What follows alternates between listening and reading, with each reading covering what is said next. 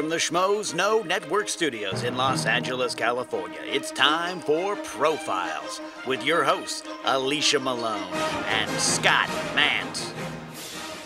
Hello, Schmoville! Hello. Or should we say, good, Good evening. evening. Welcome to episode 12 of Profiles. And boy, what a show today. Now, every week, Alicia and I, we always come and say, today we're going to talk about one of the greatest filmmakers of all time. But Yeah. today we are really talking about the greatest, the master of suspense himself, Alfred Hitchcock. Yeah, the, he is the first director I ever knew the name of. I feel like I grew up watching Hitchcock movies.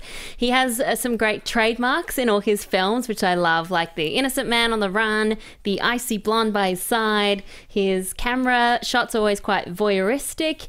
Great humor in there, as well as murder and intrigue, and then Murder.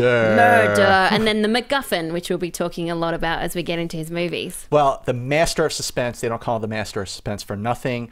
The build-up is the key to suspense. And when Mm-hmm. you look at his very best movies, like we are going to do right Yay. now, you see that it is all about the build-up. It is. Because you really get to know the characters. You really get to know the story. And then in his very best films, he pulls the rug out from under you. Twists it. Twists it around, Mm-hmm. makes you totally question what you just saw. You have no idea where it's going. Yeah. And they are just masterpiece after masterpiece, particularly in the late 50s. And his style is so distinct, so very much his own, that the term Hotch- Hitchcockian, Hitchcockian. Hitchcockian is used to describe anything that, that feels similar to an Alfred Hitchcock movie. well, a wonderful life indeed that actually started way back in the 19th century. Alfred Hitchcock was born in 1899. He made over 50 films in over six decades. six decades, starting Crazy. with uh, 1925 and ending in 76. Wow. And he cameoed in 39 of them. I love that. I love looking for the Hitchcock cameos. Yes. It's like, oh, there he is. there he is running for the bus. well, we have a, a supersized It's a Wonderful Life today because Hitchcock did indeed have a wonderful life. So let's hear it. Alfred Joseph Hitchcock was born on August 13, 1899, in Leytonstone, England. In the 1920s, Hitchcock designed the titles for many silent movies. His first feature as a director was 1922's The Number 13, but since it was never completed due to financial setbacks, his first official feature was 1925's The Pleasure Garden. Hitchcock found his footing in the early 1930s with The Man Who Knew Too Much, which he eventually remade, and The 39 Steps, which many consider to be the best film from his early period. In 1940, Hitchcock made his first American film, Rebecca, which won the Oscar for Best Picture. Between 1925 and 1976, Hitch directed more than 50 feature films, many of which are hailed as the greatest movies of all time. Alfred Hitchcock was nominated for Best Director five times, yet it's hard to believe that he never won. But in 1968, the master of suspense was honored by the Academy with the prestigious Irving G. Thalberg Award. Hitchcock was married to Alma Revelle from 1926 until his passing at the age of 80 on April 29, 1980. They had one child, daughter Patricia.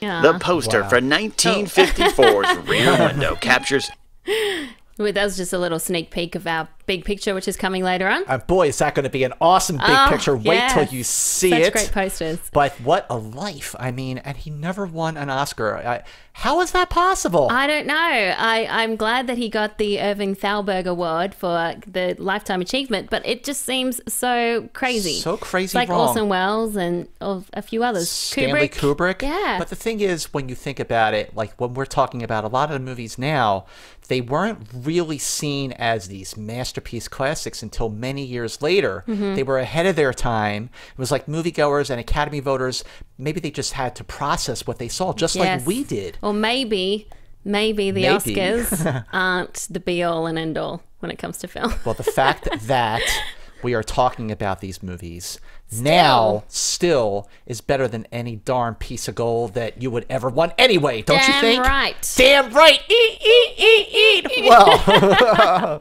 let's just go right into our first. Oh, how appropriate is this? Our first, First blood. blood. Whoa, perfect timing. I had a hard time thinking of what my first blood was. Maybe Psycho, maybe Rear Window. My dad is a huge movie buff. He's the reason why I love films today. And every time, even when we talk on the phone now, straight away he'll say, uh, "So, what movies have you seen lately?" Before he says, "How are you?" Oh, funny. That's that's our language. That's that's what we speak. right. So he would drag me out of bed to watch movies that he felt like I should know about and and directors I should know about. So Hitchcock was one that he always made me watch. I remember seeing Psycho quite young and just the images stuck in my head. It was very frightening, uh, but I appreciated it at the same time. And I remember Rear Window, so it was one of those two. But I say I had a really great experience recently when I saw Rear Window at the Hollywood Forever Cemetery here in LA when they do those screenings Oh, in summer. perfect. At a Perfect. cemetery? Yeah, I think uh, Hitchcock would have loved that setting. but just to look around, there was hundreds of people there. Everyone sitting in silence, enthralled by this movie years later, and something that I love. Rear Window is one of my favorite films of all time. Seeing that really warmed my heart. Well, I remember seeing Rear Window at the Hollywood Forever Forever Cemetery. Yeah. It was a few years ago before I met you. so the fact that they keep showing that movie at the cemetery Great. speaks volumes. What was your first My blood? First Blood wasn't uh, the the kind of movie you would expect. It was The Man Who Knew Too Much, Mm-hmm. the second version that he did with Jimmy Stewart and with Doris Day. And as a kid, I just remember the song "Que Sera Sera." Yeah. Now that was a song that Doris Day didn't want to record. She thought it was too kiddie for a Hitchcock movie. Yet not only did it win the Oscar, but it also became her signature song. But it was also a movie that I think my folks, uh, my parents, sort of eased me into with Hitchcock because they they saw it as you know the, the family, the McKennas, they're on this vacation, and they get uh, caught up in the assassination plot that's central to the film, and that was sort of their way of, of bringing me into the Hitchcock fold. But it was Que Sera Sera. Now on the big screen, the first Hitchcock movie I ever saw was Vertigo in September of 1996 when it was completely restored. Good one to see on the big screen. Oh my gosh, San Francisco never looked so beautiful. Yeah. And by this point, I had gotten into Hitchcock. I knew his style, but I'd never seen Vertigo at all. Mm-hmm. So to see that on the big screen as my first blood for for that was I'll never forget it. Obviously, because I remember what it was. Yeah, and now it's one of your favorite films. Uh, yes, it is. which we will be talking about later on. But kicking off our Fast Five at number five is. Why are they doing this? Ooh, the, The birds! Look out! what a scary friggin' movie this is. Terrifying. Terrifying. Still. Still, to this day, this movie came out on March 28, 1963, and uh, uh, our uh, Tippi Hedren, uh, one of our Hitchcock blondes, won the Golden Globe for Most Promising Female Newcomer. Mm. Now, she had to share it with Ursula Andress from Dr. No and Elke Sommer for the prize, but still, now rewatching this movie for the first time in a really long time, which is what we do for research on profiles, and boy, is it fun, isn't it? Yeah, uh, it's the best research ever. But watching the birds again, every time I see it, I'm struck by how terrifying it is. It's a monster movie. It's also an apocalyptic movie. Yep. It came right after Psycho, and the, he had huge success with Psycho. So there was three years in between Psycho and The Birds, which is actually the longest break in his entire career. It was also one of the biggest budgets of any movie he'd done, $3.3 million, which at the time was a lot of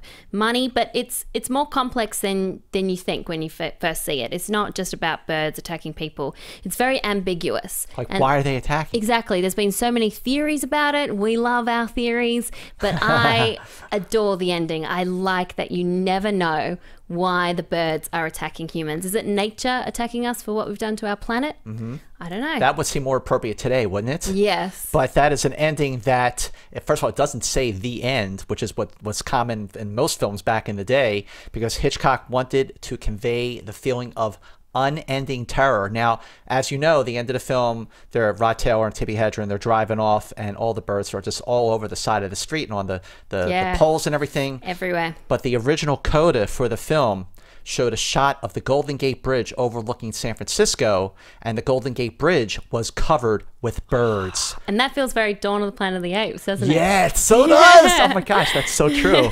but what's what's great about this film, just like so many of his movies, is just the character build up. Yep. The build up is the key to the suspense. You don't see the first real bird attack until 52 minutes into the film, and that iconic scene it doesn't happen until an hour and 10 minutes With the crows. it. With the crows on the handlebars Yes. outside the, the, the school with And the then kids that singing. attic scene is so terrifying. Poor Tippi, she had to do that scene for a week. wow. It only had, I think, three minutes of screen time, but it took a, a or even maybe even less than that. But it took a week to shoot. It was one minute, one minute screen time. Took a week to shoot. There were seagulls that were trained to attack her. At one point, she her eye got scratched. Um, Cary Grant visited the set and said, "Wow, you are one brave lady." She really was. She put everything into that role. Well, it took a long, long time for me to realize because I wasn't paying attention to those sort of things back in the day when I was a kid. But there's no score at all in this film. That's right. It's just the flapping of It's the just wings. the flapping of the wings and the sounds of the birds. Whew. And Bernard Herrmann, who was obviously uh, Hitchcock's longtime collaborator for musical scores, Mm-hmm. was credited as sound consultant.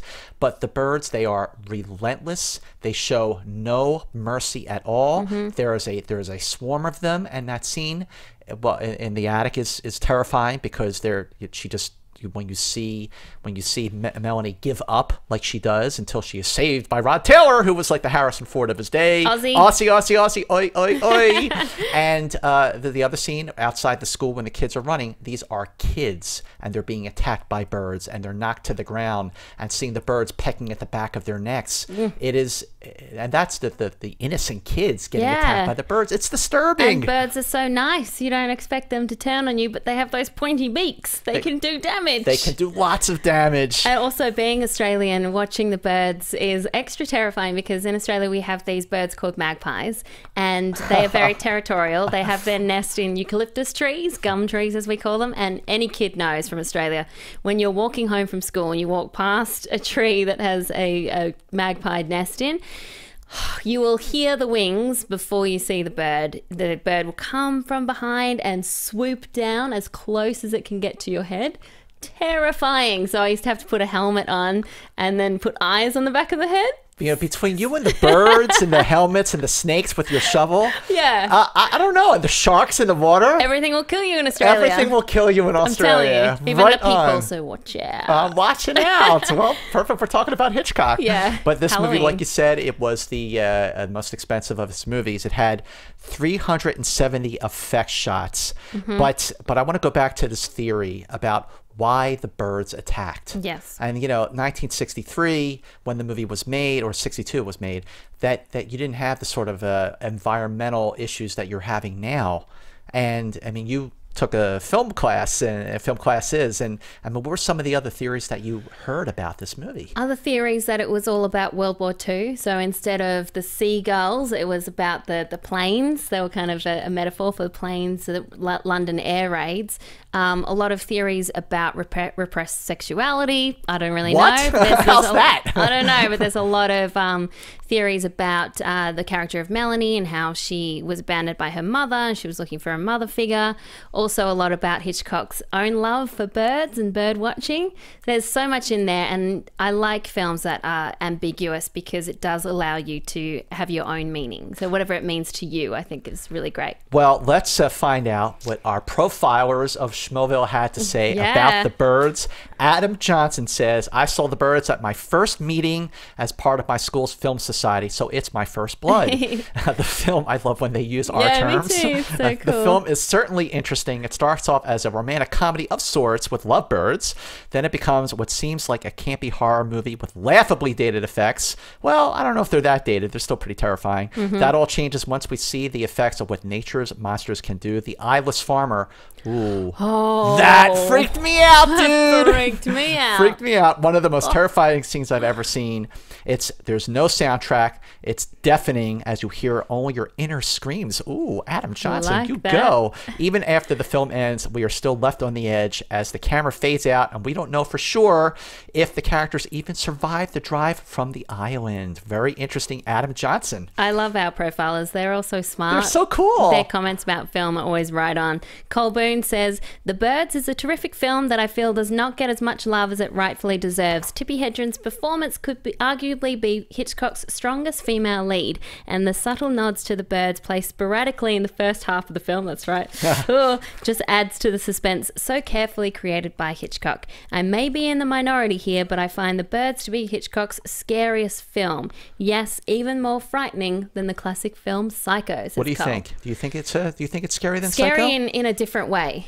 Scary, as, as I said, I see it as a monster movie. right. So the birds are the monsters, and that is very scary, but very different to Psycho, which is a psychological. Psychological. Psychological, Psychological matching your shirt, yo. Slasher film. Well, let's see if we can get Oh, our yes. first, yes, I said first guest on the phone right now. Our good friend JTE. JTE is Dial going it. to work his magic, and we are going to just kill time while that is happening. so excited talking about the birds. So excited An by this. amazing, an amazing performance. It's ringing. It's ringing. It's ringing, and here we go. There's the ring.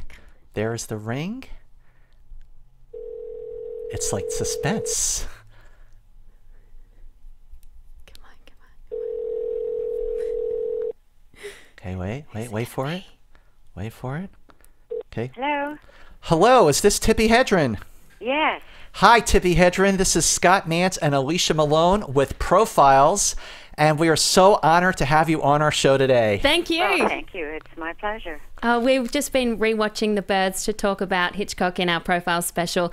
It is still so terrifying. Every time I watch it, it is so scary. Why do you Isn't think that wonderful? it is? Why do you think that's the case? How, how has it managed to hold up after all these years? Oh, it's a, it has a life of its own.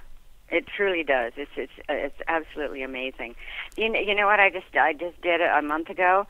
Um, I was up in Bodega Bay on um, Labor Day because I go up every year to sign autographs. There's such a huge uh, response from people about the birds that they when they hear that I'm going to be there in the town that it was made and uh, all of that. I mean, it was just it's just too exciting. Well, anyway, I always like to go over to the schoolhouse and all of that, and and I said, what what happened to the jungle gym? and they said, well, it's gone. And I said, well, I want it. and and so they said, well, I think it went to a school, and I found out that it did. So of course I couldn't take it away from the school kids, and um, so I had, you know, I live on a wild animal preserve at the Shambhala Preserve, where I've been rescuing lions and tigers for the last, you know, what, forty years. Um, and I I asked that that company who builds all of our fences, all of our huge compounds, if they could do the jungle gym, and they did. Oh, oh wow. that's they so did an great. exact replica. It's on it's on our website shambhala.org. You'll have to check it out. Oh, we'll definitely make sure Hopefully, that- no birds land on that. We'll make sure everybody. okay, now back to Hitchcock. back to Hitchcock. Well, first tell us how you got the word from Universal. You got that first call, and I understand that call came on a particular day. It did. Friday the 13th of October Wow. in 1961. Perfect. And and Universal, you know, uh, Hitchcock said when he said to the studio, Universal, that he wanted the girl from the commercial. Yes. You were the girl, I'm and what the was the girl. commercial? Yeah. Well, I've been doing a great number of them in New York, and um, which was a great career. You know, it was so fabulous, and you know, the the uh, commercials pay so well that I was able to take um, uh, three months off and go around the world at Wow. one point. Wow. How was your first screen test when you finally got to uh, go in, and, and what was it like meeting Alfred Hitchcock for the first time? Well, um, uh, I I barely even heard it was Alfred Hitchcock, and we were on our way over there. They asked me to sign, uh, look the contract over, study it, understand it, and sign it, Oh, and then we would go over to meet Wow. Alfred Hitchcock. so you signed your contract before you even met the man. yes, I did. That's was that uncommon Isn't it? back in the day? I think I think it's very odd. it is odd. well, tell us, you started filming The Birds in 1962. Do you remember your first day on the set? Uh, yes, we were uh, up on location. We did it. We, we, you know, we did an extensive screen test, a three-day screen test, and um, it was just a test to see what I could do. And we did scenes from um, uh, Rebecca, um, Catch a Thief, and Notorious, three Wow. entirely different women. Edith Head did my clothes. Bob Burks was the DP. Um, the whole film crew was there. Uh, it was uh, Martin Balsam was flown in to to be my leading man f- from New York. I mean, they couldn't find an actor in New York, in California, you know. so, anyway, it was three days of of um, uh, fun and uh, um, exasperation because he really tried to break me during a, one of the one of the times, and um, I wasn't going for it, you know. So- Yeah. How how you- tough did things get on set? We were talking about that attic scene, which took a week to shoot. Yeah, it did. That must have been really it did, and it was, um, you know, when I look back at it, he really didn't need to do that. Oh, wow. Yeah, it's only one you know, he minute really long. didn't. He had enough footage within at at least three days. But one of the things we're together. discussing, uh, Tippi, one of the things we're, we've been talking about, how more than any other actress in any of his movies, your performance is the one that stands out above above them all because it was such a, an emotional performance and a physically grueling performance, and you really knocked it out of the park. When you look back on this movie, I mean, you have to have like some pride knowing that you you took everything that came at you and you really just ran with it. Well, I did, uh, and uh, you know, making the the film itself was absolutely fabulous because of the actors with whom I was working. Jessica Tandy was, of course, a thrill with whom to work, and um, Rod Taylor, and you know, it was uh, Suzanne Pleshette, the late Suzanne Pleshette. Yep. Um, I mean, it, it was an incredible cast. Yeah, it was. It was a, uh, and of course, it was a tremendous learning experience for me. What do, what do you feel like you learned the most at that time, whether it was from, from Hitchcock or from Rod Taylor or Sean Connery when you made Marnie the, fo- Marnie the following year? What was like yeah, the that one wasn't lesson? all bad either. Yeah, not bad. Look at you. I was really very fortunate. um, uh, well, you know something I learned from everybody. I just I, I just tried to be a sponge. Um, Alfred Hitchcock and his wife Alma were my were my drama coaches uh, for the Birds and Marnie, and um, I couldn't have had uh, you know better better tutors.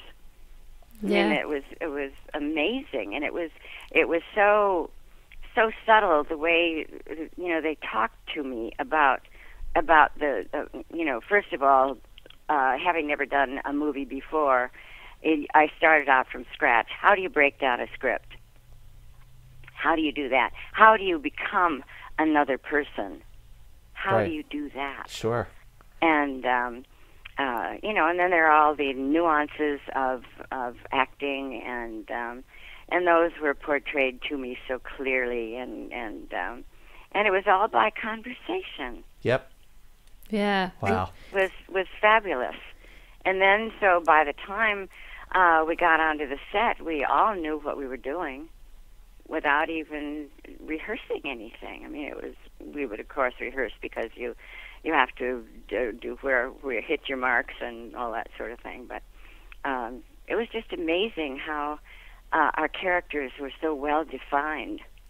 That's Yeah. for sure. That's, for what sure. we're talking about. The build up is so good. And when you were on the set, what kind of moments do you look back and, and cherish? Um, oh, a lot of the the funny things. You know, Hitchcock was a great uh, jokester. you know, and and of course he loved dirty limericks, which he would reel off at the most odd times. uh, and of course the the the crew who had been working with him forever knew all of the the the jokes, you know, but they everybody laughed anyway. And of course, they were new to me, and some of them were were real eyebrow raising. I mean, that's putting it mildly. Yep, I bet. Yeah. well, you know, you mentioned the last 40 years, your passion has been your wildlife preserve, the Shambhala Reserve, where Yes. people can go to shambhala.org to make a donation. But tell us what inspired you to start the Shambhala Reserve in the first place. Oh, and thank you for saying that. I'm I'm in fundraising hell all the time because I have to raise seventy-five thousand dollars every month, and it's so difficult. I Oh, can't wow. tell you. Wow. But what started it was um, I did two films in Africa in uh, um, 1969 and 1970. And during those years, environmentalists all over the world were telling us, people of the world, that if we didn't do something right then to save the animals from encroaching civilization, sport hunting, and poaching, by the year 2000, all of the wild animals would be gone. Wow. I mean, they were going at such a rapid rate due to the, you know, the the the psychopathic big game hunters and um, uh, the poachers, and um, you know, it, it was a frightening time. So my then husband and I decided to do a movie, and uh, we chose to use lions uh, in the movie because we had seen a house on the Gorongosa Game Preserve that had been abandoned by a game warden because it flooded during the rainy seasons. He moved out, and a pride of lion moved into that house. Whoa. and it grew to be oh it's awesome. It grew to be the the largest pride in all of africa. There must have been twenty five thirty lions of all sizes living in that house. We couldn't count them because they were in motion but they were sitting in the windows like great portraits. They were going in and out the doors they were uh, napping on the verandas the cubs were playing out in front it was just it was just beautiful Wow. so, uh, in using uh, all of those animals uh, together in some scenes, you know, sometimes there were 10, sometimes 5, sometimes 2, sometimes 20.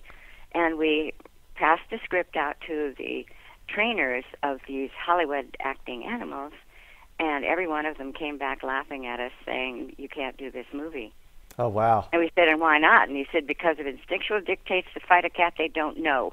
I don't want my cat hurt. I don't want to get hurt. Get your own animals to do the movie. So that's how it started Well, that in is 1972. and still going strong. And we just want to appeal to all of our viewers and all our profilers on profiles today to please go to shambhala.org and make a donation to Tippi Hedren's Shambhala Oh, and, Wildlife and please Preserve. know that I am not rich. When I was doing uh, uh, the uh, the birds, I made five hundred dollars a week, and I got a raise when I got, did Marnie. I got six.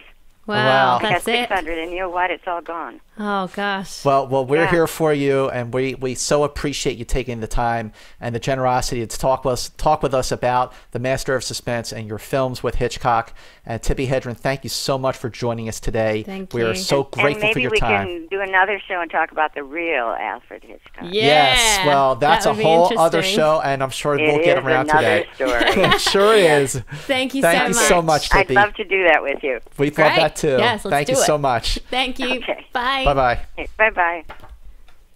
Okay, cool. What a classy lady. What a classy lady, a Uh, true Hitchcock blonde, Tippi Hedren, the birds. Can you say I, I'm just really excited that you know, as a kid, I grew up watching Hitchcock movies. I never thought I'd get to speak to anyone who was in them. And that means, Alicia, you and I were just one degree of separation I know. from Alfred Hitchcock. And today we're celebrating his career, but that would be interesting to get some uh, some real details because I know that she had a really tough time on that film, and what a tough lady, as Cary Grant said, and what what a classy, elegant, strong lady. well, you know who else was a really tough lady? Yes, That'll be Janet Leigh in Psycho, good segue. which is your Right, right stuff. I know. Well, I, I was trying to decide whether it would be the crop duster scene in North by Northwest, which we will talk about, but I couldn't go past the iconic shower scene in Psycho because that has to be one of the most famous scenes in movie history. Absolutely. It's got that sudden attack, the the vulnerable naked woman. It's the shock death.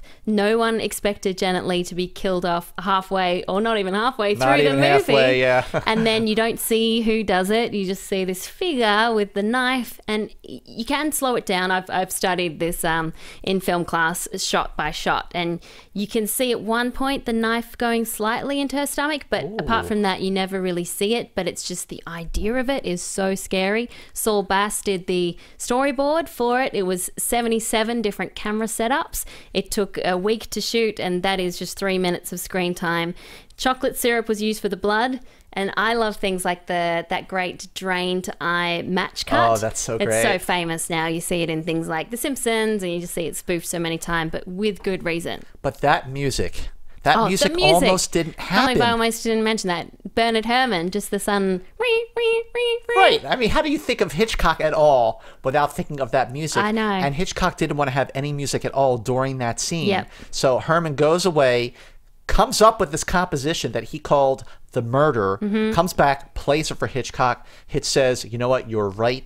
Put it in the scene, It's so and the rest is history. And I have to say quickly before we get to your right stuff that I recently went to the Hollywood Bowl and they had the music of Hitchcock and they scored live while they were playing the scenes up on the big screen. And Yeah. to see that shower scene done it, right there in front of you by the Hollywood Bowl Orchestra just blew me away. Just seeing all the strings, no other instruments, just that. you see the strings going up and down. That must have been so cool. Dun, dun. Okay, what is your right stuff? My right stuff is the movie we just talked about because I was going to go with Psycho, but I thought, you know, what if Alicia goes for Psycho? yeah, you knew I would. And I kind of figured you would Yeah. because you know wavelength here. I am a psycho. you know, and you've got a shirt to prove it. By the way, very cool shirt oh, that Oh, you have on. Big shout out to our friends at sonsofgotham.com. They are profilers. Okay? They knew about our show. They knew about our show. They were huge profilers, and people are always asking us, "Where do you get your shirts? Where do you get your shirts?" Well, we got mm. these. Sons I am sporting mine, which is from Vertigo, my favorite Hitchcock movie. we Mine's go to Psycho. sonsofgotham.com. They have awesome, awesome shirts, and I'm sure we'll be giving them another shout out later in the show. Yes. But my right stuff is from the birds. Yeah. Because that scene, an hour and 10 minutes into the film, when Melanie is sitting outside the church, Melanie, played by Tippi Hedren, and the school, and she lights up her cigarette, and the only score in the film, really, are the kids singing inside. And that score sort of serves as the soundtrack to that scene, as slowly but surely the the, the, the, the bars in the Flock. playground flock down. and Which there's is the that jungle gym that Tippi has now. exactly A replica of it, yeah. the uh so the the birds are, are coming down and, and you see you see her look up and follow a bird down and then what she realizes that it's completely covered she inches herself away goes into the school. Suzanne Pleshette is inside. She opens the back door and she's like shut the door. We gotta get the kids out of here. And again the kids running And then down. it's like, just go calmly, and then when I tell you, run. and all hell breaks loose. Those poor kids, but that scene still terrifying. And this is, you know, we've we've seen so many horror movies like The Shining and The Exorcist and and whatever. Uh, and you hate scary movies. I know, but I love Hitchcock. Isn't that strange? you, that is strange. Wait a minute. Let's analyze this for a second. Okay. You hate horror movies. Yes. Like you would. You and and suspense, Maud filmed yourselves watching the trailer for Annabelle. and we freaked out. And you freaked out at a trailer for this crappy movie, yet you go ahead and you love Psycho and the Birds. I think it's because of what you said. It's it's the suspense, it's the build up, it's so much more about the characters than the actual murders. Um, and I mean, I know Psycho that was a, a slasher film, but you don't see a lot. And I think Hitchcock was so great at what you don't see is scarier than what you do see. So I don't mind someone disturbing me, someone scaring me, but demon dolls, no. no. Or uh, like slasher torture porn, no. Well, let's move right into our Fast Five. Coming in at number four is. I told you I'm not Kaplan, whoever he is. Oh, that's Roger Thornhill. That's Cary North by Grant. Northwest. North by Northwest. What a great film. What a great film. And I think more than any other Hitchcock movie, more than 50 films, this was his most fun. This was a movie that had it all. A lot It of humor. A lot of humor, action, suspense, intrigue, romance, a smart story. It was a thriller, and it was just so fun. Yeah, all the trademarks of a Hitchcock film are right here. You've got the innocent man on the run, played by Cary Grant, the gorgeous blonde Eva Marie Saint, the MacGuffin, which is Hitchcock's term for a device that keeps the story going, even though it itself is meaningless. And the MacGuffin in this is what Vandamm knows. This character that everybody's chasing, what he knows, what kind of information he has, what that microfilm is. Doesn't matter at all because Doesn't it's matter. about secret identity and also romance. Well, like the first time I saw it, I was like, wait a minute, what's going on? Yeah. And then I was like, who doesn't cares? matter. Who cares? Seeing Cary Grant on the run, impeccable from start to finish, never losing his sense of humor, never losing his charm, Never- his wit. Never getting that suit very dirty. Well, he did in the crop A duster scene, and then he got it pressed, and he was ready to go. Well, this uh, movie, North by Northwest, came out on July 28, 1959, so it is the 55th anniversary of North by Northwest.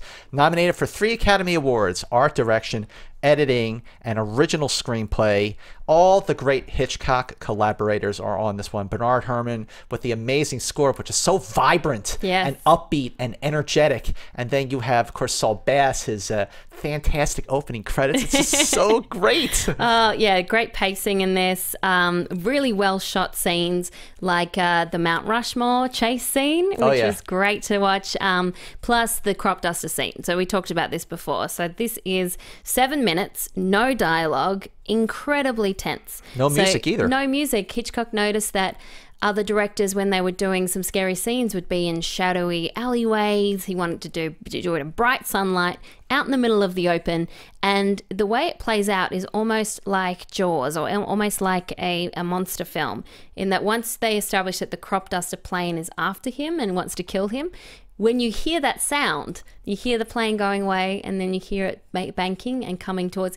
You know he has to run you know he just has to run it's bad news and the the pacing of that scene again study that in film class the shot size and the the amount of time he held each shot for Ugh, brilliant stuff and you never see who's in the plane. never see it doesn't matter again It doesn't matter. the faceless enemy So great. Well, uh, years later, when Hitchcock was asked why he wanted to do North by Northwest, his response was he wanted to do something, quote, fun and lighthearted and free of the symbolism that had permeated my earlier films. Mm-hmm. And there was a lot, especially because the movie that preceded that was Vertigo. A lot of symbolism in that movie. yeah well But- ernest lehman did the, the script didn't he and he wanted to make the hitchcock film to end all hitchcock films and that is definitely one of them because I don't think there's really one that could really end them all. Although we will, we will certainly do that. That crop duster, duster sequence took place in Indiana, but it was actually shot north by northwest of Bakersfield, California, uh-huh. and it was on the set that Cary Grant and Alfred Hitchcock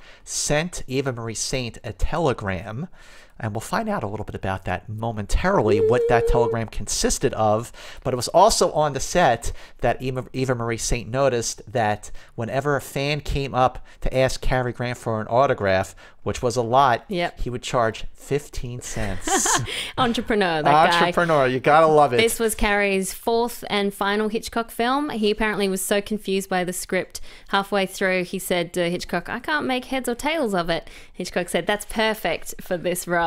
Well, well, we're going to ask our, our our guest right now all about the making of North by Northwest because Profiles is proud to have on the show with us Eva Marie Saint. Eva Marie Saint, thank you so much for joining. You're on the line with Scott and Alicia.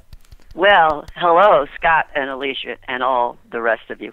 Thank you so much. Oh, thank you so much for joining us. I recently saw you at the Hollywood Bowl for the Hitchcock music, and Oh, it- you did? You were I so had wonderful. Such a good time. That was a beautiful audience. Oh, it was it was one of the greatest moments of my life being a huge Hitchcock fan and just rewatching North by Northwest. I mean, it's the 55th anniversary this year.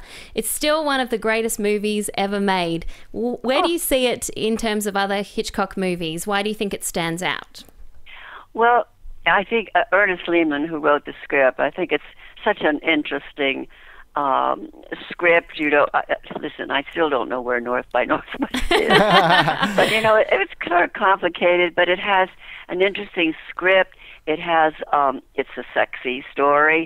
Uh, it's beautifully done. It's beautifully photographed, and and and the the color is gorgeous. I've seen it on the big big screen. Well, like at the bowl Yeah. and Hitchcock just had this feeling, you know, about music. Speaking of music, and and he just felt that it uh, it was an alternate language that could express his characters. Unconscious longing and tell stories. I'm reading this that pictures could could alone could not. Well, I'm I'm look. I was reviewing what I said that night Yeah. and and that's true. I mean, and I I hear music from Psycho if I'm driving and I get, you know, it just it spooks me out. while I'm Spooks us out too.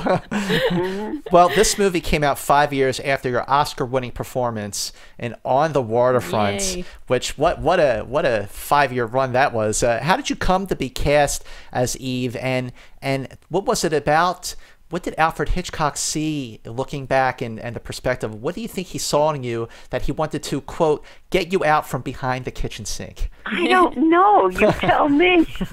I've never figured it out because I did Hatful of Rain uh, before, and that was the sink to sink that he thought I shouldn't do any more of. And of course, I said I can't promise you that. I love those stories. uh, but it may be uh, that certain feeling with Bob Hope, where I wore Edith Head beautiful clothes and my hair up. Uh, I made that with Bob Hope. You know that certain feeling. The first we sang and we danced. I don't think many people saw that film, but I had such a good time. Now, I, I that's that's my theory that maybe he saw me all dressed up. what would you say working with Marlon Brando and Elia Kazan on all the waterfront on the waterfront prepared you for Cary Grant and Alfred Hitchcock? No, it was, Very different. It was completely different. The, the cast, the girl from the waterfront to the six sexy spy lady. Listen, working and uh, working with someone like Kazan, who directed me to, on the waterfront, and and Alfred Hitchcock, completely different, and yet both I think are geniuses. I real I really feel that, and I was privileged to work with uh, both of them. Very very different. I'm from the actor studio, and Kazan was there, et cetera. So was Marlon. So was uh, Karl Malden. And, and that, probably the whole cast. Most of the people were from on the were from the uh, actor studio, and then to go to North by Northwest where there was no rehearsal. And I remember I'm married to a director, and he would he always says, "Now just find something, find something about your leading man that you can like." Well, I always do. I mean, it's either the voice or or the face Mm, or whatever. And when I came home from my first day with Cary Grant, he said, "Okay, honey, now." What about Cary Grant? I said, the whole man. I There's love Cary nothing Grant. that's not beautiful about him, starting from the man himself. He was a very giving. I sound like Pollyanna, but it's true. I've had some wonderful leading men, but he was very special, and he he would say things like, I, "Who is Cary Grant? I don't know." I love that. Sounds pretty humble. yeah, and I felt I say, let me let me tell you, just let me let's start at the feet and go up, or the head and go down. Well, uh, Hitchcock as a director, how how hands on was he with with telling you what he wanted out of a performance, and what made him more hands on with your physical appearance, or what what lengths did he go through to make sure that he what that that Eve Kendall looked like the way he wanted her to look?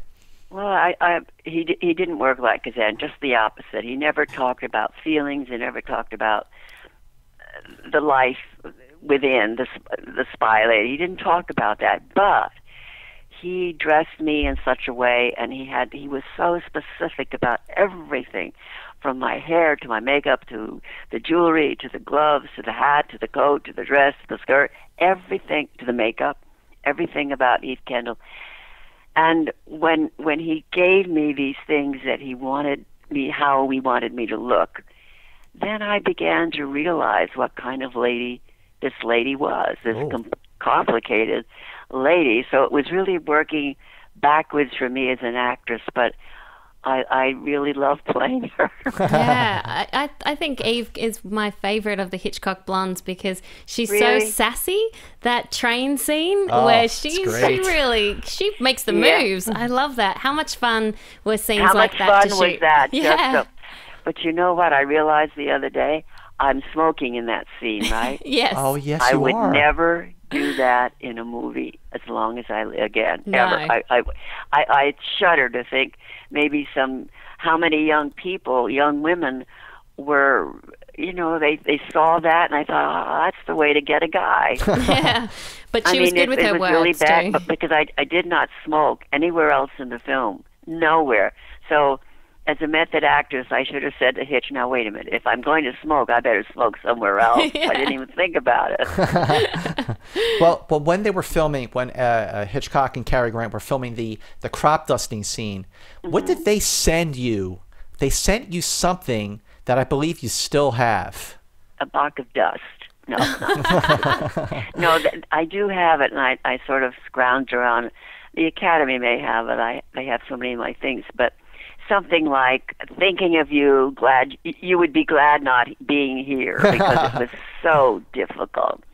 And I remember thinking, oh God, they're going out there at Bakersfield, hmm, and here I am not going. Oh, after I read the telegram, I was very happy. And I'm sure after you saw that scene as well, what was it like the first time you saw North by Northwest on a big screen? I I was I was really thrilled. I uh, it, it's so strange, really, to see yourself. Uh, you, you never. I don't think you ever get used to it. But she was so different from. I'm just a pushover, and she's such a such a sexy spy lady. Yeah. But at the very end, at the very end, you know, you see things when you see the movie together in, that you've never seen because I didn't go to rushes, and all of a sudden, the very end, that sexy scene, I see the, I, he pulls me up on, on, on in in the bed on the train, and then you see the train go through the tunnel, and I whispered to my husband, I said, "Oh my God, Ari, this is kind of Freudian." yeah, it is. Oh And yeah, it he- is. And he said, "You got it, honey. You got it." Well, yeah, because they, they they cut I from. was wow. Look Yeah, at the- that. cut I from the it. bed to the train going through the tunnel. Well, it's such, such a great scene because you're you and you and Cary Grant are hanging from Mount Rushmore, and then it co- it's it's cut right to the train, which is such a great cut anyway. But it made me think that that North by Northwest. Do you see it more as a spy thriller or as a screwball comedy? Because it's kind of both. Do you know it? Yes, I think it's. I think it's a, a combination, isn't it? It's it's a it's a thriller, and and the music. Oh, and the music and the dialogue and and, and Mount Rushmore. I was when I was a, my mother always felt my mother and father see America first, and so we would we never had a chance to go to Europe uh, until I was working and so forth. But we would go all over America. We went to see Mount Rushmore, and when I saw it, I was so excited. And for some reason, I scratched my initials in a tree, carved them. I don't know where I got the penknife, but anyway, I did. And I remember my father sitting me down right there uh, and saying, "You should never, ever, ever do that to a tree or anything." and you know, then later when I when I arrived there with Cary Grant, because we only shot a couple of days there, or maybe just one day and one night, or stayed one night, and I remember thinking, oh, as a little girl carving that, I never thought that someday I'd be climbing it. Not Yeah. really, I didn't really climb it. It's amazing. But life is funny that way. Well, well, this was a really a life moment for me and Alicia because we are huge movie geeks, Yes. big Hitchcock fans, and we just love North by Northwest so much. And Eva Marie Saint, thank you so much Thank you. for taking the time to share your memories of the movie and Alfred Hitchcock and Cary Grant with us on Profiles. Well, I had a good time too. It's always good to remember happy experiences. And nice meeting you too. Nice the meeting you too. Thank you so much. Have a great day. Bye. Thank you. Bye bye. Film geeks. Once again, one degree of separation from the master of suspense, Hitchcock. Alfred Hitchcock. We just spoke to two Hitchcock blondes. two Hitchcock blondes. Maybe we'll be able to do another. Maybe we'll don't be up for another. Who knows? know. Profiles. I Should we know, quickly Alicia. read out a North by Northwest and then and then we might skip ahead to uh, Vertigo? Maybe. Well, why don't we why don't we read Number one of our profilers? Okay. From North Um, by Northwest. Daniel Epler says Cary Grant again shows us he's one of the smoothest, most easily likable leading men that has ever been in cinema. Even when playing against type as a selfish coward, like in this film, his character arch, arc is perfectly constructed by the master of suspense himself in a brilliantly funny, intense, and perfectly entertaining masterpiece. A plus. Go for it. Daniel Epler and Mark Torda- Tordai says the pioneer of mistaken identity thrillers, Cary Grant gives one of his best and most prolific performances. And my best Cary Grant impression. My name's not George Caput, it's Richard, Richard Thornhill. What's not to love? North by Northwest is intense, still holds up today. Mm-hmm. Martin Landau, a very young. That's Martin right. Landau. What gives an amazing performance as the villain and that that crop duster scene wow one of my favorite hitchcock films for sure one of our favorites and my favorite my personal favorite hitchcock movie coming in at number Skipping three forward, sorry to take. in in our in our fast five yes Jate is on the ball big shout out to Jate Yay. you rock brother what's number three in fast five And if you lose me, then you'll know I. I loved you and I wanted to go on loving you. I won't Oh, Oh, oh vertigo! Vertigo. I love this movie more than life itself. Released on May fi- May 9th, 1958. This is my personal favorite Hitchcock movie. This is one of my top 10 favorite movies of all time. This was the first Hitchcock movie I saw on the big screen, mm. completely restored and what it is about this movie is just the descent into obsession mm. because Jimmy Stewart, working with Hitchcock for the fourth and final time, just starts off sort of a quintessential Jimmy Stewart type of character. The everyman. The everyman, the Tom Hanks of his day. Yay, so Tom Hanks. Right, so Tom Hanks of his day.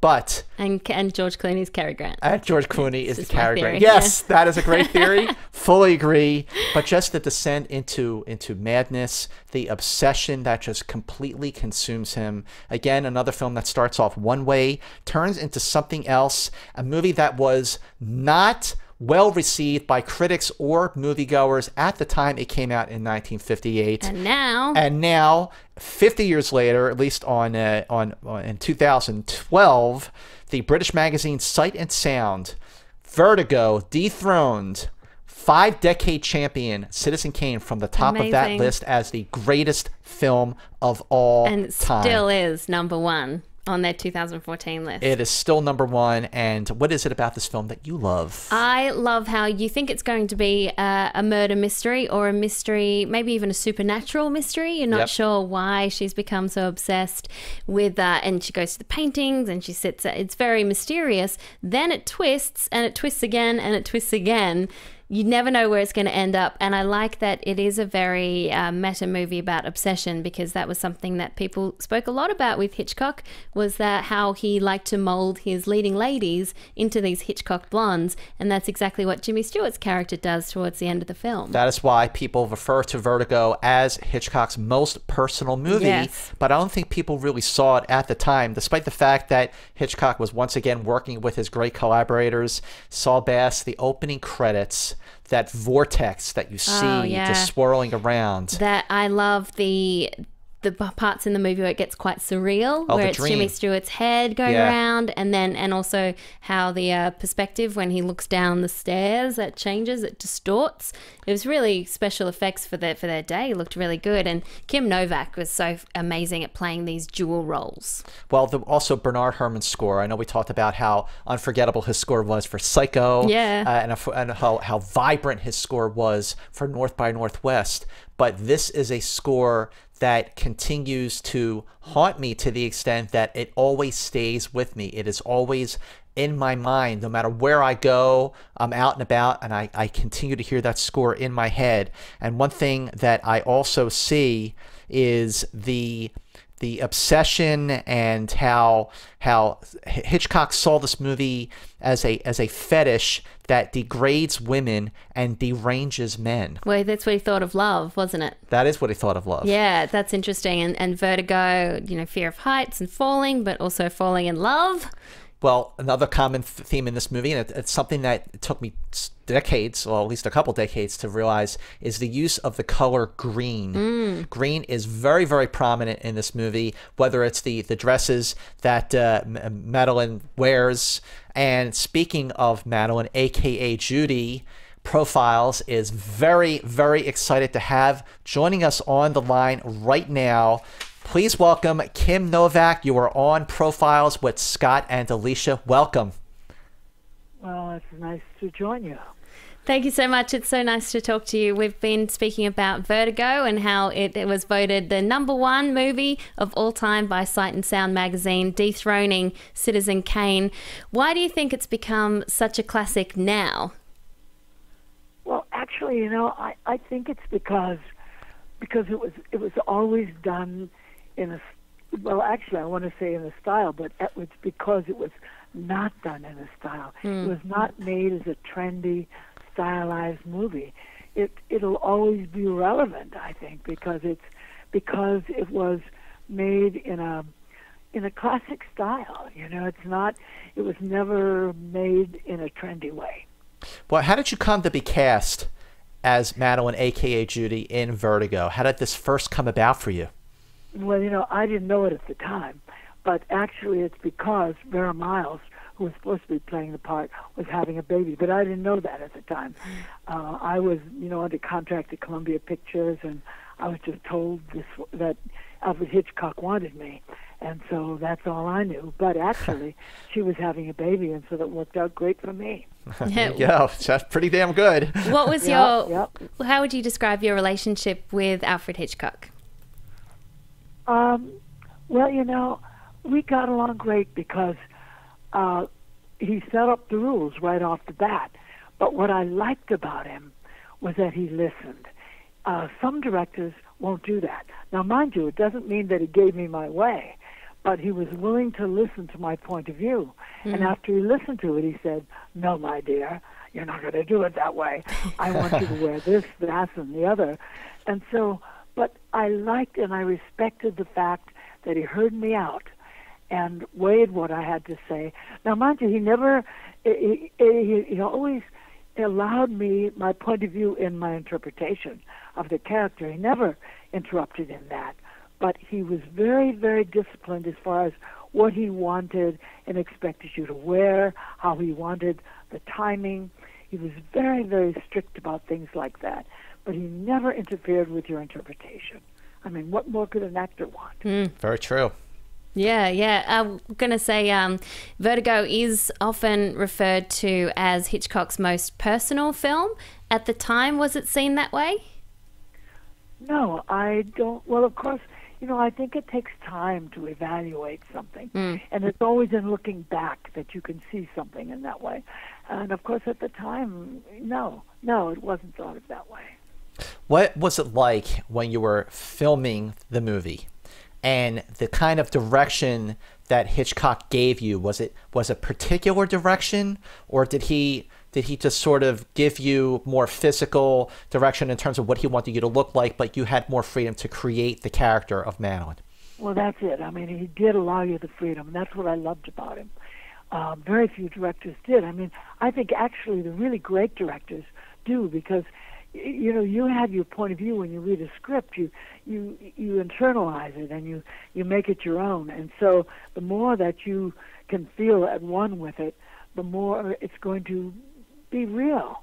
And that's what he did. Uh, he he allowed that. I I hardly ever saw the man on the set because he always watched you from behind the camera. All you could see was his feet and his shoes. and there he was behind, always looking at you through the lens. So I rarely looked at him through the eyes. And he never wanted to discuss the script, but he was always talking about the timing, where you stood, what you wore. That's what mattered to him. And you also got to work with the wonderful James Stewart. This was his fourth film with Hitchcock. What did you observe about their relationship? they had a great he had great respect they both did they respected each other and again they knew what was whose territory they knew i mean he and that's why jimmy stewart and i became great buddies because i kept going over what does he want how does he want me to play this and he said look he hired you he wants your interpretation so he made me feel comfortable he made me understand the rules that he said he'll tell you exactly what he wants as far as where to stand where to go but he wants your interpretation. And so, you know, Jimmy Stewart knew the rules that he worked with. He worked with him so many times, and uh, he understood. He understood, and they had a great respect for each other. Wow. Well, you know, when Vertigo first came out in 1958, it got very mixed reviews. It wasn't uh, the big hit that, that people sort of expected from Hitchcock, but it was reevaluated over the years. Suddenly became like what we were talking about, one of the greatest movies ever made. Mm-hmm. And uh, why do you think they all missed the boat the first time around? And when did you start to see them come around and be like, "Welcome to the party"? Yeah. Well, you know, I think the movie was ahead of its time. I think Alfred Hitchcock was ahead of his mm. time. I don't think he was that appreciated at that at that moment in time. And the audience finally caught on. and I think it was directed and acted in a classic style. It was not done with any kind of gimmicks or it was it was and so now people can accept it, they understand it, and the more you see that movie, the more you understand about it. And uh, yeah, it was ahead of its time. Yeah, Well, we I certainly agree. agree. Definitely agree. Is Vertigo something you revisit? Do you ever rewatch it yourself? Oh yeah, I I I watch it, and the funny thing is, I see something different in it all the time. Yeah. And I find that I there there are things that surprise me in it that I I don't know if I forgot them or do I see them from a different point of view. But that's the the gem about Alfred Hitchcock. He he brings things out, and I've got to tell you something about him. Some of the times I would say to him, you know, I don't quite understand something here. This doesn't quite make sense. And he said, that's what a mystery is supposed to be, my dear. Oh, Because You shouldn't always have, there shouldn't always be a perfect answer in a mystery. You know, and you should always, for every answer, there should be another question. And that's that's what he had. That's that was Alfred Hitchcock. Well, you just gave us the chills in a very big way, very fitting. And one last question before we let you go is among the other Hitchcock movies, what are some of your favorites?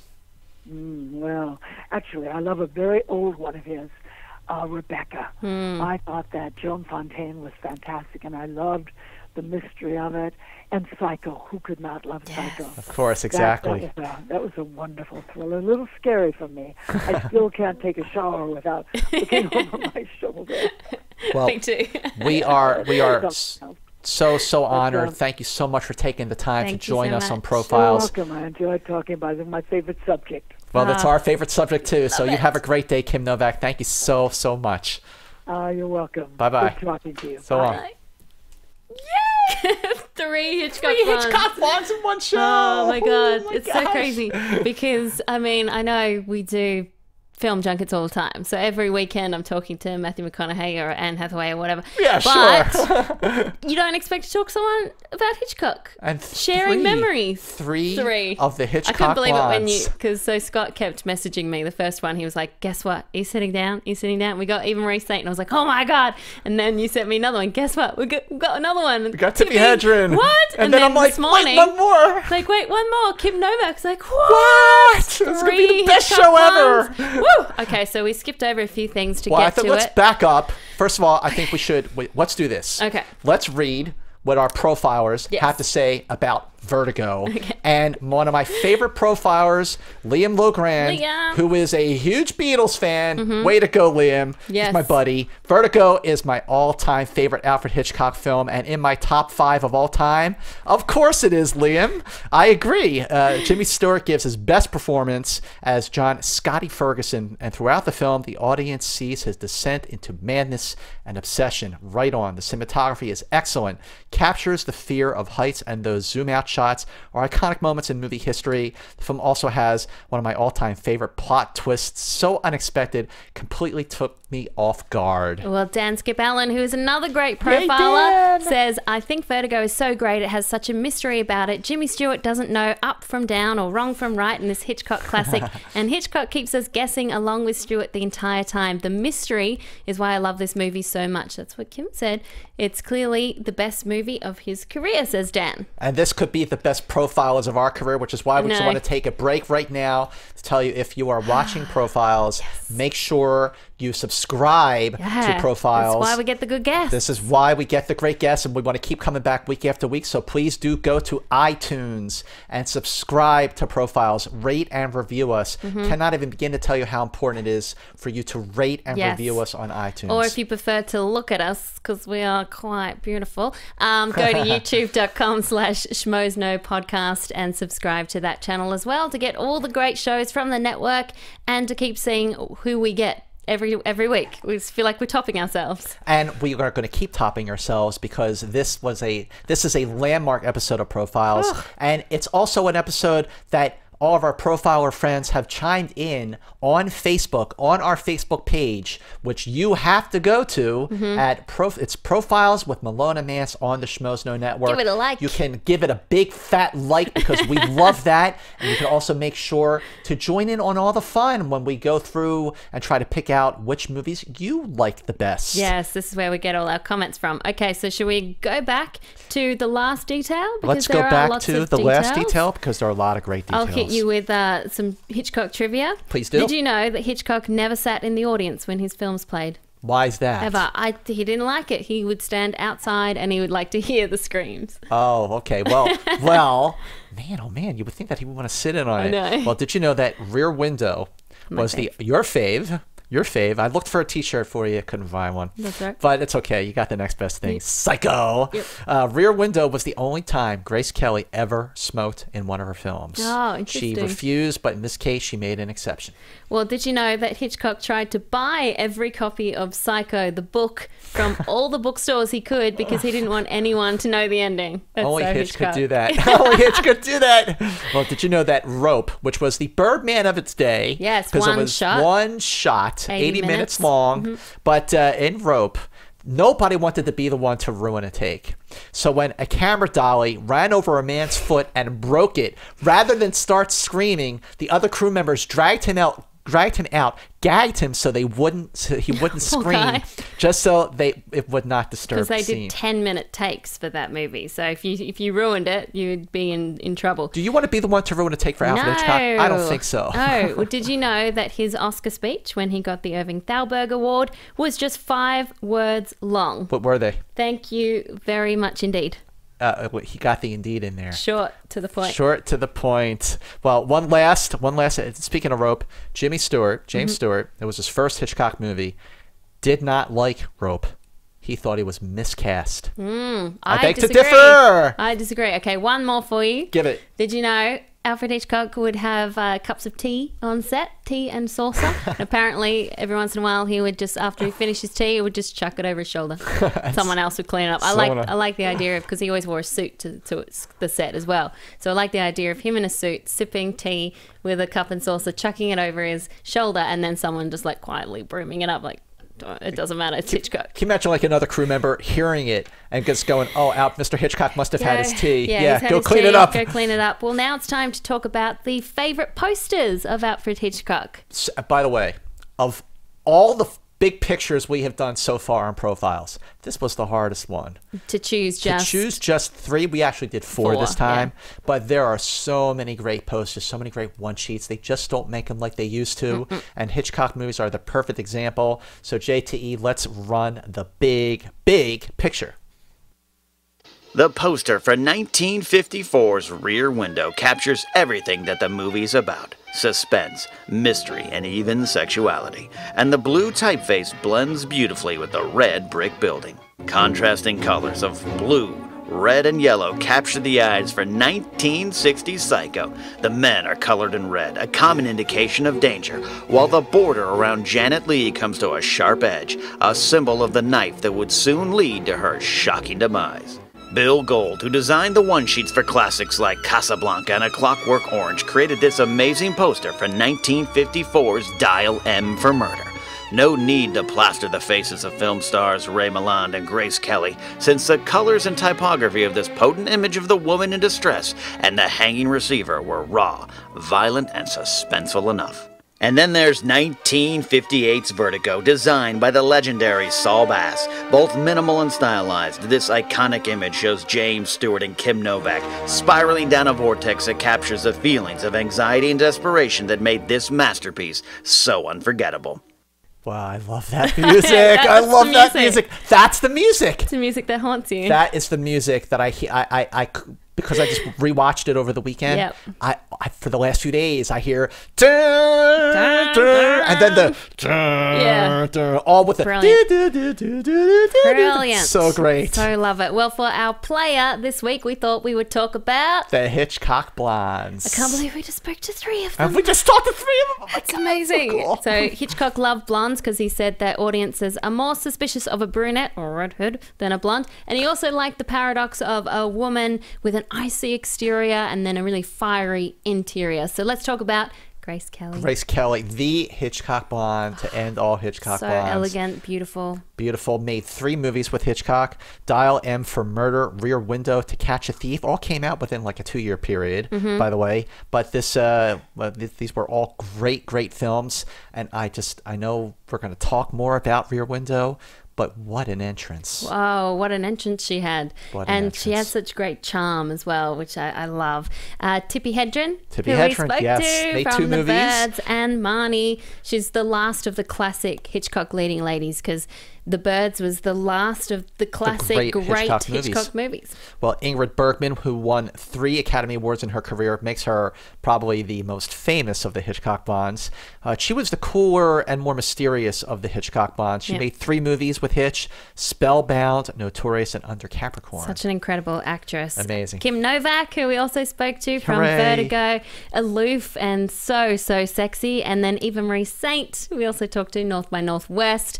As I said to her on the phone, I love Eve Kendall because she is sassy. I love that train scene where Yep. she puts the moves on him and you don't really know what her intentions are, but So great. she makes the move. She Go was girl. a strong character, by the way. Yeah. At a time when there Capable. weren't a lot of strong female characters Mm-hmm. in, in movies, let alone Hitchcock movies. And then there's Janet Leigh, who made just one, or almost half of one, but what a half of one she made. I mean, just that that iconic scene, her time on the screen, one of the just greatest moments in movie history, bar none. and a great character too because she's she's conflicted she does she's following her heart but then she's stolen this money and she feels bad about it and then out of the blue Anthony Perkins. Uh, there you go, Bates Motel. Also, Joan Fontaine from Suspicion, Madeleine Carroll from The Oh, yes. 39 Steps, and Secret, Secret Agent. So many great Hitchcock ones, and we talked to three of them. Did we mention that? I c- can't I can't believe is this is this a dream? This is know. really happening. This It's is our really life. happening. This is our life. Ah. So the good, the bad, the ugly. This week we thought we would talk about maybe some of the other Hitchcock films that are worth seeing that aren't on our Fast Five because there are so many Hitchcock movies. He made over fifty films, like we said. So there are a couple of gems that maybe you don't know about. Like, which one for you? To Catch a Thief To Catch for me, which Thief. I've written this down, Scott. It's 1955. Well, look at you. I don't know the exact dates. date. but this movie is so glamorous. If I could live inside any movie, I would want to live inside To Catch a Thief. Cary Grant plays a jewel snatcher who's trying to be clean, but then uh, there's a jewel robbery and everyone suspects him. And then you've got the gorgeous Grace Kelly, and it's all set in the French Riviera. I love Strangers on a Train, black and white classic from 1951. Farley Granger, Robert Walker. Talk about a movie that starts off pretty darn intense as it is mm-hmm. and tightens the screws on the intensity as this train chugs along. Blackmail, being trapped by a person you just cannot shake. It was a device that had been used many, many, many times over the years, but never better than Strangers on a Train. And Rope, 1948, which we've mentioned already. Jimmy Stewart, about these two college buddies who commit murder and then they hold a party with the guy in the box. I just rewatched this last night. It is dark, it is funny, and as we said, it is one, made to look like one long take. It all takes place in this one room. Well, I love back to back Ingrid Bergman movies Spellbound from 1945 and Notorious from 1946. 1945, Spellbound, uh, she co starred with a really, really young Gregory Peck playing a psychiatrist, falls for her amnesic patient. But as the movie progresses, it's the music scored by Miklos Rozsa that is very it's very spacey. It's the kind of music you would actually see or hear rather in a B movie sci-fi movie, but it fits perfectly with Notorious and uh, with Spellbound rather. Yeah. And it's Notorious. It's the chemistry between Cary Grant and Ingrid Bergman. yes. That is this is this, this is an espionage thriller, but one that is full of so much romance. Well, we should mention the brackets that have been going on on our Facebook page, Profiles with Melody Mantz and the Schmoes Know Network. Long title, but worth going to visit. they had all these, uh, they pitted two Alfred Hitchcock movies against each other and they had all these battles. So the semi finals was Rear Window versus Rope. Then there was Psycho versus Strangers on a Train. Ooh. The championship was between Psycho and Rear Window. The winner, Rear Window. Rear Window over Psycho. Yeah, Rear Window. How happy are you right now? I'm very happy, and thanks to Steve Zissou. Steve Zissou. His, his Life Aquatic. Steve Zissou, our Love- one of our favorite one. profilers, Steve Zissou, rocks. And some other profilers had some films that they love, uh, Hitchcock movies that aren't in our Fast Five. Andrew, Andrew, Drew, I'm just so excited. I can't speak. Andrew Cabral says about Notorious, there is so much wealth to be found. The deeper you venture into Hitchcock's filmography, I love Notorious. You have two iconic actors playing opposite one another in Ingrid Bergman and Cary Grant. It's an espionage film with a romantic backbone. The camera work is phenomenal. Beautiful black and white cinematography, utilizing dolly and crane shots, phenomenal acting between the leads. So much is said through just looks and body language than is said through words. Well, our good friend Dan Skip Allen had this to say about one of my favorite strangers on a train. It's amazing. It's so creepy. You don't know how meeting one stranger can affect you so much, especially when he just won't leave you alone. This is a Hitchcock Hitchcock classic. You can't trust strangers. Mm. And we also have to give a big shout out to Nikolai Quack from Germany. Yes. Our good friend Nikolai, who loves Rear Window. Yes, I'll read this one. Please do. I love Rear Window. Hmm. it has one of the best premises of ev- any thriller ever made. A stellar cast with James Stewart and Grace Kelly being perfect in the lead roles. The masterfully written script brings all the characters, no matter how small their roles are, to life wonderfully and creates a great suspenseful world. I found it hard to breathe, me too, throughout most of the movie. And when I did find the time, I was simply delighted by the great acting, and the climax is still one of my favorite scenes of all time. Greetings from Munich in Germany. Yay. Guten Tag. Okay, good. One more. The Trouble with Harry. Yes. By uh, this is coming from Richard Frost, my top of the list underrated Hitchcock film, a black comedy about the numerous comedic attempts to dispose of a body. A film which gave Alfred Hitchcock the opportunity to film in New England during the fall, which is something he had always wanted, which is understandable because the film is a beautiful looking one. That's one I have to revisit. But now let's go to Fast Five Number, number, two, which is One of you keep an eye on this window. If I see him coming back, I'll signal with a flashbulb.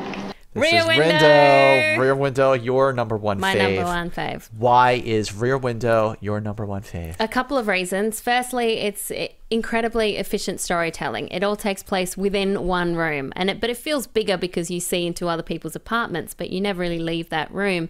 Jimmy Stewart, perfectly cast. He again is the everyman. You just love Grace Kel- Kelly is so elegant and beautiful, but I like what it says about voyeurism.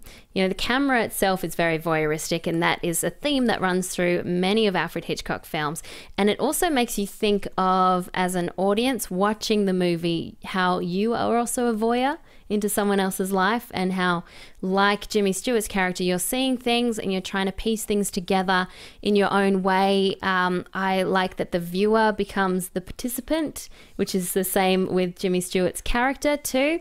And there's so much suspense, there's so much comedy and romance, and what you think of everything you see, including the characters, is not what they seem. Like Grace Right. Kelly's character, when you meet her, you think, okay, she's a model. She probably would cry if she broke a nail. And then she's doing all these daring things. She gets into it. She gets into it and she, loves it. She gets into it so much she loves it, and there's that quick shot of, of James Stewart looking back at her like like he's After so she, when she came back from giving the note. from giving the note. He was like proud of her. He's like, oh, I like All this right, gal. She has she's- some gumption. Right, right. And then you've got the ballerina, the gorgeous girl that goes for a guy you don't expect, and then of course the the guy who commits the murder, the very uh, average-looking neighbor. Of course, we got to give a shout out to Miss Lonely Hearts. Yes, Poor Miss Lonely, Lonely Hearts. Hearts. Oh, she was wearing green. And the poor dog. The poor dog. What is a poor dog? dog. But this this was a, a- an incredible movie to shoot because it was shot entirely on the Paramount Studios lot. The apartment courtyard scene was 98 feet wide, 185 feet long, 40 feet high, consisted of 31 apartments, eight of which were fully furnished. Yeah, they cut out the studio floor so they could go from the basement right up to the lighting grid. Can you imagine going on that set? Oh, what I would give to go back Ah, and that do would that. be amazing. And I like how this movie is very visual. You're not spoon fed things. Like if you take the opening scene with Jimmy Stewart, straight away you know exactly who he is, what he does for a job. Right. No words are spoken. photographer for a magazine. Clever. No words are spoken. Very clever. Also clever, or I should say just scary, is the end when Raymond Burr goes to his place. No music. Again, the, the build up to that scene. Stewart shuts out the light and he mm-hmm. can't really move Because you're questioning everything up to that point. You're like, did he do it or did he not? We and then the light underneath the door you see go out, right? and then the door opens, and he walks in. And he goes, "What do you want from me?" And then the flash, the, the flash flashes, bulbs. the flashes. yeah. It's a, what is up with hanging?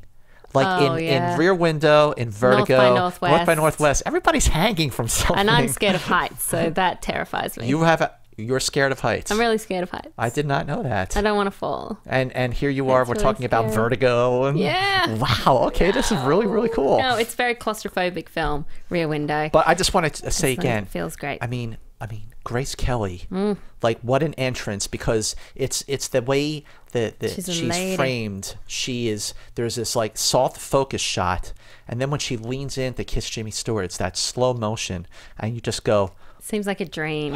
it just feels Seems like, like, a dream. And when you're watching the film, it makes you question, like, why can't you look away from murder?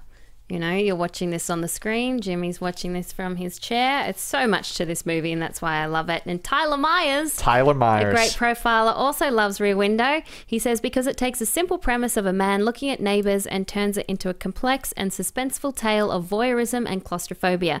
James Stewart is stellar in the lead role, and Grace Kelly is just as brilliant and intelligent as the traditional Hitchcock blonde. The writing and directing both work side by side flawlessly and keep the audience guessing what is real and what is fake, all leading up to a nail biting conclusion that doesn't need to rely on big budget effects but works because of the characters and the masterful direction by the masterful director. Way to go, Well Tyler. said. Well said, well said. Okie Brown says Rear Window may be my favorite Hitchcock movie. The claustrophobic, again, there's that word again, feeling of the movie is unsettling and it creates such tension, enhanced by brilliant performances from Grace Kelly and Jimmy Stewart, two of my favorite actors who have such great chemistry Yeah, in this movie. do. They do. Uh, clearly, Mr. Hitchcock's direction is superb. Okay, that was our number two, so I think you can guess what our number, Number one, will What could be. number one will be? We all go a little mad sometimes. Uh, we all do. Psycho! Psycho! Psycho! I love that you were wearing a shirt that says Psycho. Yeah. Talk about symbolism. That's right. Symbolism. By the way, again, big shout out to sonsofgotham.com t-shirts. for these you so very, very cool It was so Hitchcock nice t-shirts.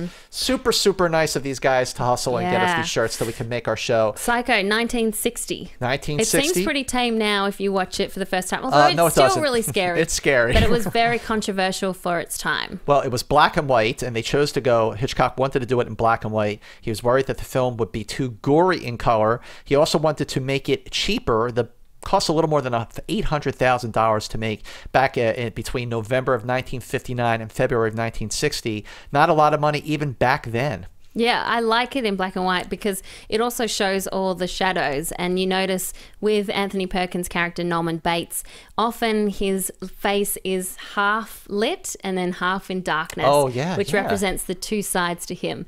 And talk about voyeurism. The, this ca- the camera work in this is extremely voyeuristic. You're peering through a window, Yep. you're peering through the little The hole. hole. I also love all the stuff about birds. So uh, Norman Bates stuffs birds. A he noticed bit of a that foreshadowing to yeah, the birds. Marion Crane. Crane, last Crane. name. And also, he notices that she eats like a bird. I love him in this role. At the time, no one suspected him because he was such a nice actor. And he's a little creepy, even as Norman. And then, of course, he goes full psycho. Full psycho. dump, dump. well, what's interesting, the shower scene took a week to shoot. We talked about that already. Between December 17th and December 23rd, 1959 to be exact. Nothing says Christmas more like getting killed in a shower, Yeah. doesn't it, Alicia? Yeah. 77, uh, more than Yeah, that. different- 77, 78 camera setups. The scene runs three minutes, includes how many cuts? Oh, More I than don't even 50. know. More than so 50. many. And interestingly, Anthony Perkins was not in that scene. Yeah, because they thought it would might give it away. even in the shadow, you would notice because he's he's, tall. tall. and thin Yeah. that it was him. So he actually was not in that scene. And one of the other ways they kept the budget for this movie down was that they used spare sets and crew members from Alfred Hitchcock Presents, the TV show, that Hmm. the anthology series that, that they were producing at the time. But uh, he- the, the the scene just it's it's the little things that make this movie so creepy too. Just like when you're looking up at the Bates house and seeing mother in In the window. or or walking back and forth. Yeah, Interesting. It's interesting. It's again, it's it's what you see, might not what you think you're seeing. It's it's all what you don't see is scarier, and the character of Nolan Bates has to be one of the best villains we've ever seen on film.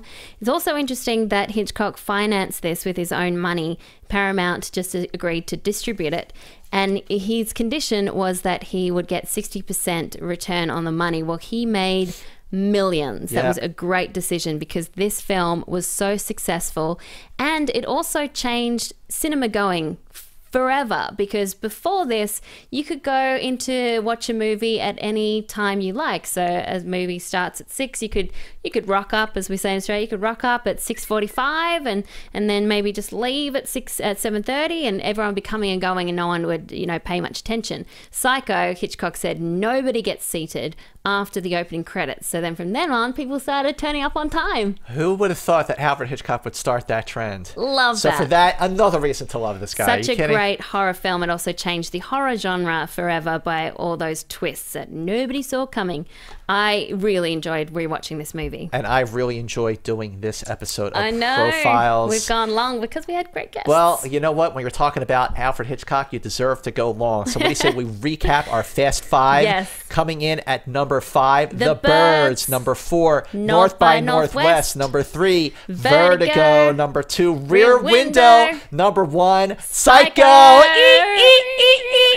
And we are done with Hitchcock. That was an incredible episode. I can't believe we got to speak with Three Hitchcock blondes. blondes. I think I will never watch North by Northwest Vertigo and The Birds in the same way without thinking, oh, I got to speak to them. I actually feel like going home and watching Vertigo again right now. Yes. I mean, I think I'm going to do that actually. So, how do we top this week's episode? Well, Well, with next week, who, Who is is?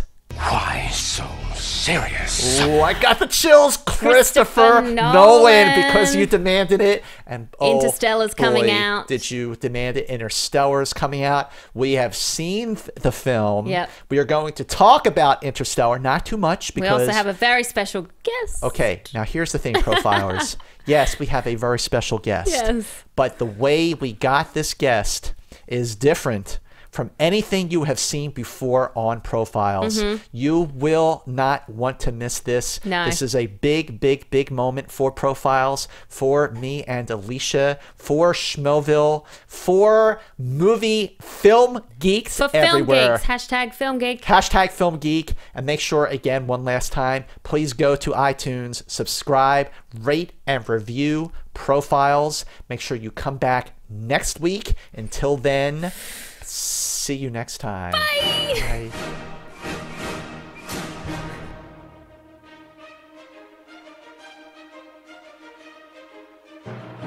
From producers Christian Harloff, Mark Ellis, and the entire Schmoes Know Network crew, we would like to thank you for listening to Profiles with Alicia Malone and Scott Mantz. Special thanks to Kevin Undergaro and Maria Madunos, the author of Every Girl's Guide to Diet and Fitness, in stores now.